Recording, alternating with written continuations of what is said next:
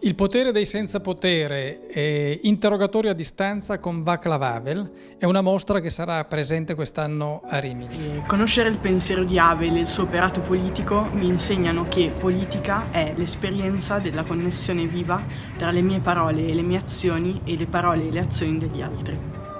Pane Bilaku, pane Indro, pane Koldere, pane Nový, pane generále rytíři a všichni další. Pochopte, že váš postoj je cizí většině lidu.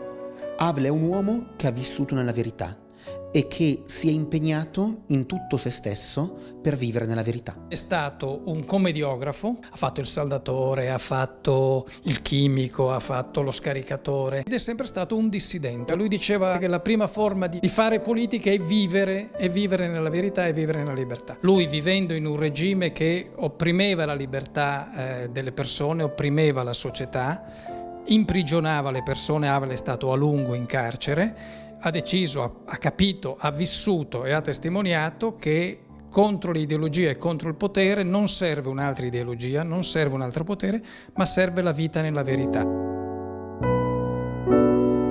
L'esempio migliore che Havel fa è quello di un verduraio che è obbligato dal potere a mettere tutti i giorni un cartello in mezzo alla frutta e alla verdura che dice proletari di tutto il mondo unitevi. Lui un giorno decide che non mette più quel cartello. Ecco, Havel dice questo è un tentativo di vita nella verità, di fuga dalla menzogna a cui il potere mi obbliga, la palla di neve che inizia a rotolare e che ha portato alla rivoluzione di velluto, cioè al rovesciamento di un regime che durava da 70 anni, senza spargimento di sangue, perché Havel nell'ottobre dell'89 è ancora in carcere, nel dicembre dell'89 è presidente della Repubblica Cecoslovacca.